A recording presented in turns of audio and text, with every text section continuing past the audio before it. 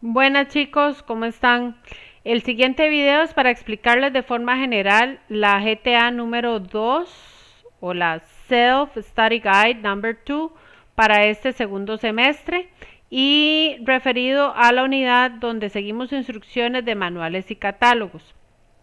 Para seguir instrucciones de manuales y catálogos tenemos que ver las secuencias, entonces ya vamos a entrar en materia. La GTA tiene un total de 8 páginas. La primera, administrativo. ¿Ok? La información ya ustedes la conocen perfectamente. Léanla porque siempre es muy importante revisar. La segunda hoja, este semestre o esta vez se me ocurrió hacerles un índice. Entonces, esta segunda hoja es básicamente el índice de lo que tienen que hacer. Parte 1, parte 2, parte 3, parte 4 viene por semanas. ¿Por qué así?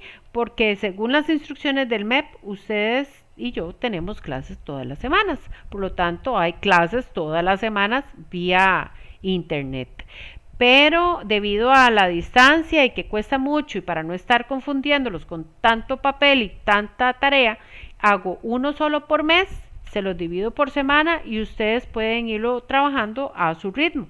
Quienes puedan trabajar más rápido lo pueden entregar antes, no hay ningún problema. Quienes lo han solicitado en papel, recuerden que la semana, esta semana ya deben de entregarlo. Cuando ustedes vayan a retirar el paquete de comidas, por favor vayan y se fijan y me dejan este papel también a mí porque yo necesito revisar todos estos trabajos y para que no tengan que ir dos veces al colegio, ¿verdad? Sino aprovechar el día que retiran, eh, que recogen GTAs nuevas, la de noviembre, pues me dejan la de octubre ahí. Ok, seguimos. Entonces, les hablé de que vienen por partes. Vean que la primera semana es prácticamente ver videos. Les puse dos videos y ya después es práctica, práctica, práctica y práctica. Si tienen teléfono o celular, a la hora de que ustedes bajen este documento, con solo que aprieten el enlace, les va a aparecer el video.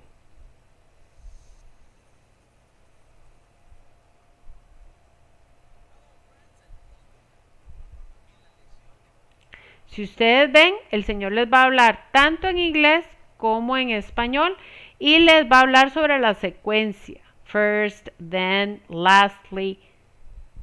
Todas esas palabritas. Y las va a explicar en inglés y en español. En español para que sea más conveniente ustedes entender, pero en inglés también para que se acostumbren ese oído a, eh, a oír el inglés. Si quieren buscar más videos sobre secuencias, nada más lo ponen, ¿verdad? También pueden poner ESL y ponen first, second, then. Con palabritas así, ya posiblemente el mismo YouTube les tira otros ejemplos de cómo se trabaja, ¿verdad? Entonces ustedes pueden investigar un poquito más. Me devuelvo a la GTA. Viene el segundo video. Y el segundo video es básicamente la, secuencia de, del, que habíamos visto. ¿Ven? Él va a decir lo que vieron anteriormente y este y le va a dar una, pues el seguimiento de esa parte gramática. Vean que son videos sumamente cortitos, la materia es sumamente fácil y corta. Entonces, lo, entre más rápido lo hagan, mejor. Vamos a seguir teniendo clases. Eh, debido a que este grupo, la mayoría prefiere clases, me parece perfecto, pero las clases las vamos a tener ustedes y yo en, inglés y van a ser más de práctica de otro tipo de práctica como de escucha para ayudarles a practicar y practicar más. Entonces, em, lo que es explicación lo vamos a seguir haciendo por video. Eh, y los que puedan conectarse optativamente, perfecto, y así practicamos nuestro inglés semana a semana. Ok, estamos por ahí, me regreso al índice, ¿verdad? Habíamos hablado de que la segunda hoja era un índice y que estos eran prácticas. La primera práctica tiene que ver con esos conectores. eh, vemos el cuadro y completamos con la palabra correspondiente. Lo pueden hacer en un cuaderno, lo pueden hacer en Word, lo pueden subir en Word y me suben el documento de Word en Teams.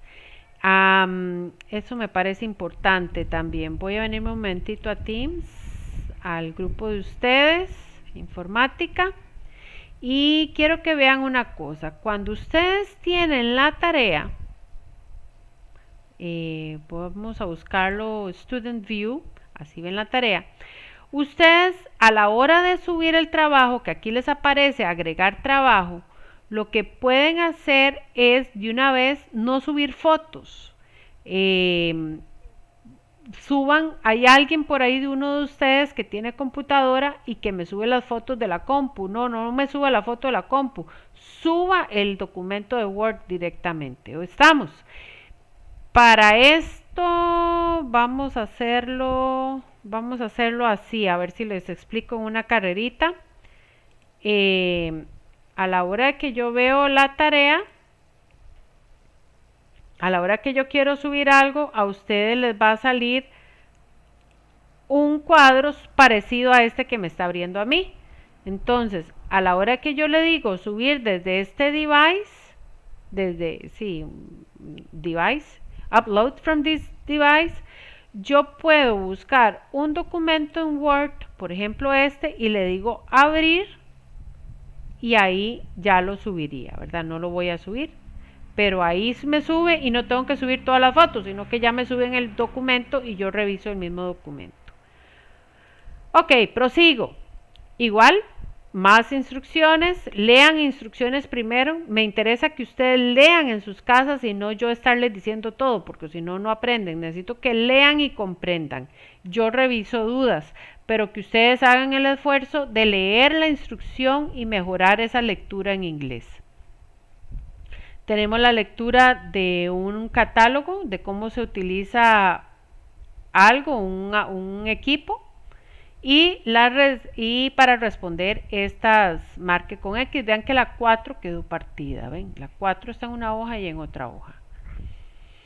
¿Ok? Y la última hoja sería la número 7 con lo que es práctica. En la 8 viene la famosa hojita que les digo que nunca me dejen de hacer, porque esta hojita es el portafolio de evidencias. Y el portafolio de evidencias este segundo semestre va a tener un valor del 20%, si no me equivoco. Yo les voy a estar explicando esto en otro video sobre la evaluación, porque ahora la evaluación es numérica, así que no se confíen y este me rellenan esto. Esta hojita no me la pierdan, llénenla, rellénenla porque yo se los voy a pedir nuevamente y mañana posiblemente les voy a explicar cómo se hace. Esto sería para este mm, video, esto sería la explicación sobre esta GTA. Cualquier cosa me escriben al privado y si no mañana tenemos clases.